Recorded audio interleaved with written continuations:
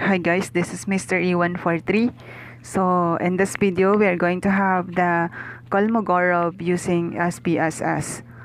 Okay, so para mas madali natin maintindihan, let's do this example. So we have here uh, the weights of the 36 newborn babies in kilogram from a hospital in Philippines are reported as below. So that's the null hypothesis that the population of weights are normally distributed. So our null hypothesis uh, for this uh, certain problem, so the sampled population is normally distributed. Okay, so uh, by the way, our uh, data uh, about this or uh, ang ating mga data dito ay already in our SPSS. Okay, so punta tayo dito sa SPSS. So nandito tayo ngayon sa ating SPSS. So ito yung mga data natin, the weights of the babies, 36 babies which is in kilogram in uh, in Philippines, the hospital in Philippines. Okay, so our variable view, we have the weights and the measure, we have the ordinal. Okay, so hindi na natin alis itong decimal kasi uh, meron siyang uh, point something ang ating data. So, punta tayo dito sa ating data view. Itong ating data view natin. And then, go to analyze. And then, non-parametric, legacy, and one sample KS. Okay? So, click that. Click natin yan. Ayan, so ito yung nakikita natin. We have uh, the weight. So, lipat na dito sa task variable list. Okay? So, dito sa exact, wala na tayong ayos dyan. Continue. Sa option, okay, pwede nating descript, pwede tayong uh, i-click natin itong descriptive at saka quartiles.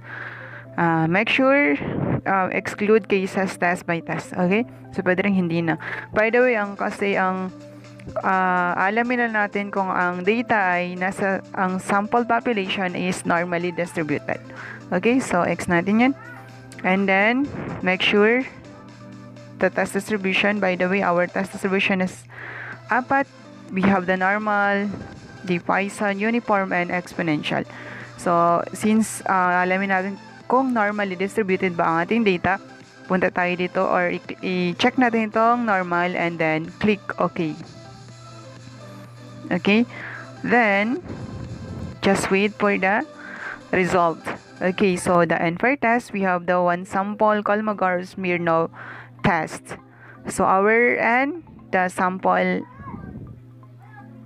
size is 36 and then normal parameters. We have the mean and standard deviation. We have 3.0017 our mean. And of course ang ating standard deviation is 0.35036 okay so our most extreme differences. So meron tayong absolute na 0.101 or the equal. And another extreme differences with the positive 0.056 and the most extreme different uh, negative negative 0.104 okay? So